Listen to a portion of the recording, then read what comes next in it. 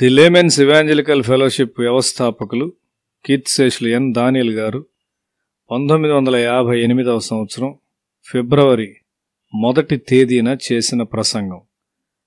వాక్య పఠన భాగము లూకాసు వార్త పదిహేడవ అధ్యాయం. దేవుని రాజ్యమును నాశనము చేయుటకు ప్రయత్నించు సాతాను ఆత్మ క్రియ చేయుట వలన సమస్యలు వచ్చునని యేసు చెప్పుచున్నాడు. దేవుని పిల్లల మధ్య ఏకత్వం వచ్చినప్పుడు దేవుని రాజ్యం వచ్చుట అని అర్థం. ఎఫెసి పత్రిక నాలుగవ అధ్యాయం మొదటి మూడు వచనాలు చూస్తే కాబట్టి మీరు సమాధానము అను బంధము చేత ఆత్మ కలిగించు ఐక్యమును కాపాడుకొనుటందు శ్రద్ధ కలిగిన వారై ప్రేమతో ఒకరినొకడు సహించుచు మీరు పిలువబడిన పిలుపునకు తగినట్లుగా దీర్ఘశాంతముతో కూడిన సంపూర్ణ వినయముతోనూ సాత్వికముతోనూ నడుచుకొనవలనని ప్రభువును బట్టి ఖైదీనైన నేను మిమ్మును బతిమాలుకొనుచున్నాను. మనము సమాధానము అనే బంధమును కాపాడుకొనుటకు ప్రయత్నము చేయవలసి ఉన్నాము. మన హృదయంలో అభ్యంతరములు రాకుండానట్లు మనము జాగ్రత్తగా ఉండవలసి ఉన్నాము. కొంతమంది వారి సహజమైన స్థితితో దేవుని రాజ్యాన్ని కట్టుటలో సహాయపడడానికి ప్రయత్నిస్తారు. అయితే వారు అలాగ చేయలేరు. ఎందుకనగా వారు దేవుని యొక్క ఆత్మను కలిగి ఉండలేదు. వారు సహజ మనస్సు గలవారై సులభముగా బాధపడువారు. అటువంటి వారు దేవుని పనివారి మధ్య దేవుని యొక్క ఏకత్వమును ఎల్లప్పుడూ పాడు చేస్తూ ఉంటారు. వారు భేదములు కల్పిస్తూ ఉంటారు. వారు అట్లు చేసినప్పుడు వారు మరియు వారి కుటుంబములు దేవుని శాపం క్రిందకు వస్తాయి. శిష్యులు తమ విశ్వాసమును వృద్ధి పొందించమని ప్రభువుని అడిగారు.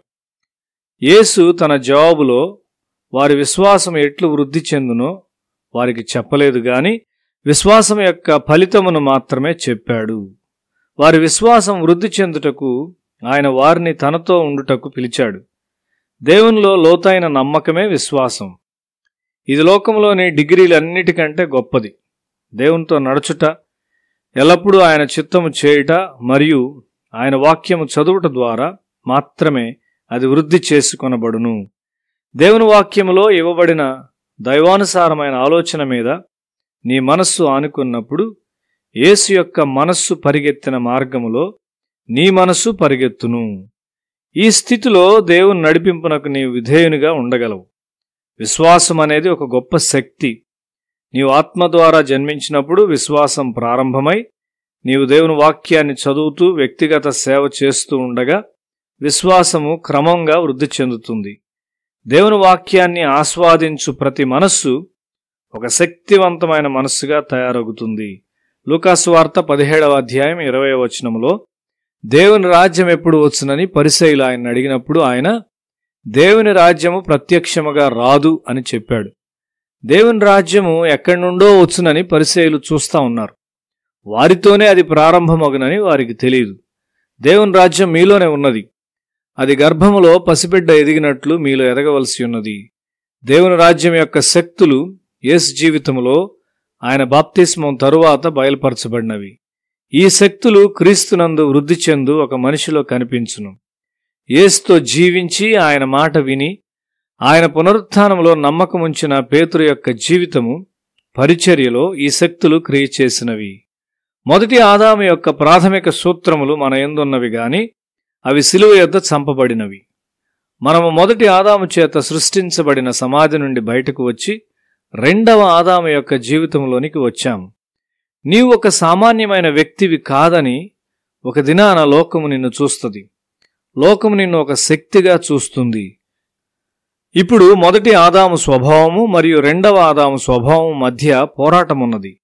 నీవు ఏ స్వభావాన్ని పోషించబోచున్నావు? నీవు సినిమాలకు వెళ్తూ లోక ప్రజలతో కలిసిమెలిసి ఉన్నట్లయితే పాత ఆదాము స్వభావం బలపరచబడుతుంది. క్రీస్తు నీలో నాటినది ఏదో అది నీలో ఉన్నది. నీవు దాన్ని పోషించినట్లయితే ఒక దినాన ఒక గొప్ప ప్రళయం వలె దాని బలమైన శక్తులతో క్రియచేయు. ఒక అగ్ని పర్వతం వలె ఉంటుంది.